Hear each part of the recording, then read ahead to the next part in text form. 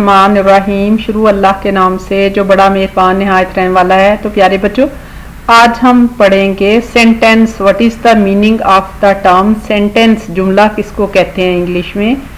The sentence is a group of words that expresses a complete thought जो जुमला है, वो एक अल्फाज का मजमुआ है, जो कि एक पूरी सोच को बयान करता है। तो अल्लाह ताला ने कुरान मजीद में फरमाया कि उसने आदम को सब चीज़ों के नाम सिखाए, फिर उनको फरिश्तों के सामने किया और फरमाया कि अगर तुम सच्चे हो तो मुझे इन चीज़ों के नाम बताओ। तो कुरान मजीद हमें बताता है कि लैंग्वेज जो है, ये स्किल अल्लाह ताला ने आदम को सिखाई और इसी, ये अकल की वजह से अल्लाह ने चंद चीज़ों के अल्फाज सिखाए और आदम ने उससे बेशुमार चीज़ें, किताबें लिख डाली। आज हम देखते हैं कि हम लैंग्वेज को सेंटेंसेस को यूज़ करते हैं। और फिर उसके बाद अल्लाह ताला ने आदम को तौबा भी सिखाई कि अगर तुम्हारे से गलती हो जाए तो अल्लाह की तरफ़ पलट आओ अल्लाह ताला बहुत ज़्यादा कबूल करने वाला, माफ़ करने वाला और रहम करने वाला है। और फिर अल्लाह ताला कहता है कि मैं तुम्हारे बहुत करीब हूँ और पुकारने वाला जब भी मुझे पुकारता है, मैं उसकी पुकार सुनता हूँ और जवाब देता हूँ।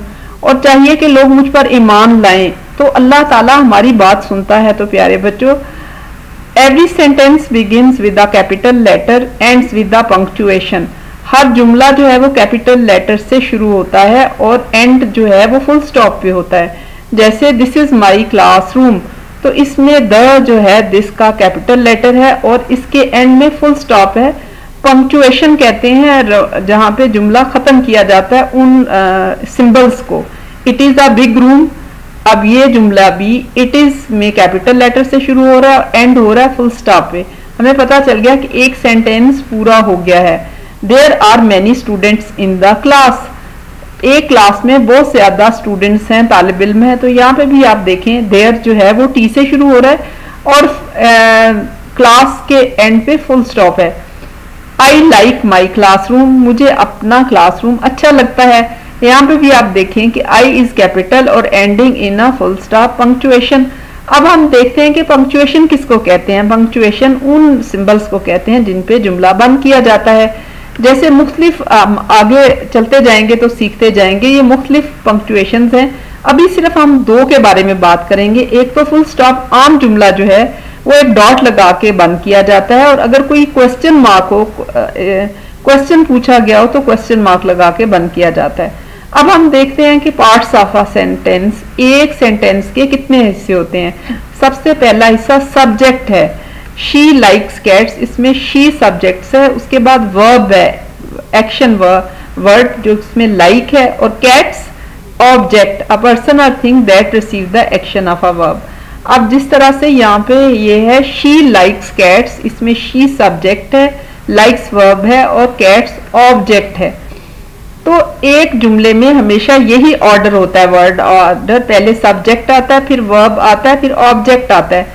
For example I likes eggs she sees her sister he is reading a book he is reading a book he is subject is reading verb और बुक इज़ ऑब्जेक्ट फिर कुछ जुमले ऐसे होते हैं जिनमें खाली सब्जेक्ट और वर्ब होता है, जैसे Saira reads she is eating Ali will leave तो Ali is sleeping, Ali subject है और स्लीपिंग जो है वो वर्ब है। फिर कुछ जुमले होते हैं जिनमें subject plus verb plus adjective आता है। Sara is busy he smart the flowers are red the flowers are red red जो है ये एडजेक्टिव है, ये फ्लावर्स की क्वालिटी को बयान कर रहा है। जैसे हमने पहले देखा था कि एडजेक्टिव्स जो हैं describes or noun or pronoun what kind which one and how many फिर एडवर्ब है subject plus verb plus adverb आ जाता है। एडवर्ब जो किसी वर्ब या एन अदर एडवर्ब को एडजेक्टिव को डिस्क्राइब करता है for example subject plus verb plus adverb Umar is eating slowly कि उमर खाना आहिस्ता आहिस्ता खा रहा है।